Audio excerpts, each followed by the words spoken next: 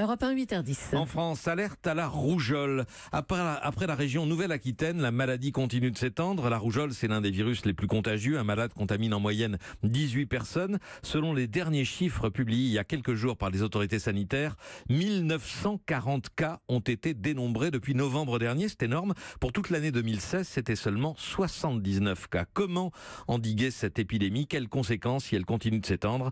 Eh bien, c'est l'enquête de 8 heures.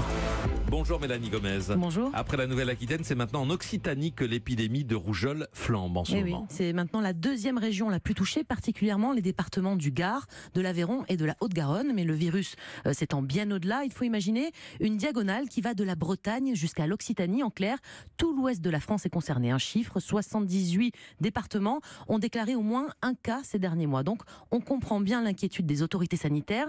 Si on ne fait rien, on va tout droit vers une crise majeure, comme il y a sept ans. Et cela avait commencé exactement comme la situation d'aujourd'hui, rappelle le docteur Denis Antona de Santé publique France. L'année 2010 a été suivie d'une explosion en 2011 avec vraiment 15 000 cas au cours de l'année 2011. Entre 2008 et 2016, on a compté en France 21 décès pour des personnes qui étaient âgées de 10 à 30 ans.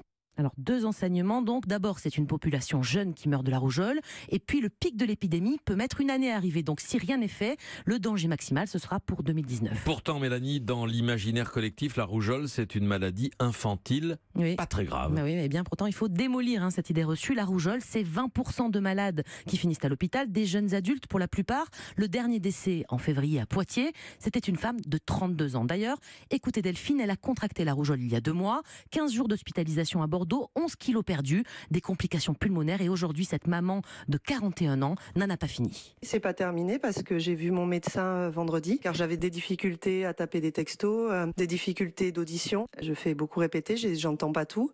Et puis je vais, euh, comment dire, j'ai eu une réunion parents-prof, je me suis mélangé les salles, les profs, enfin tout, tout, tout. euh. Et en fait, il m'a dit que euh, c'était sûrement des séquelles neurologiques. Il m'a confirmé que là, j'en avais pour 8 à 12 mois à tout récupérer correctement. Alors, que peut-on faire pour endiguer l'épidémie? Eh Bien, c'est simple, il faut se vacciner. on Déjà, répétera jamais assez. Début avril, justement, la ministre de la Santé a mobilisé la réserve sanitaire des professionnels de santé volontaires pour intervenir rapidement et aller vacciner en masse là où il y en a besoin en cas d'épidémie dans une école, une crèche ou même une université.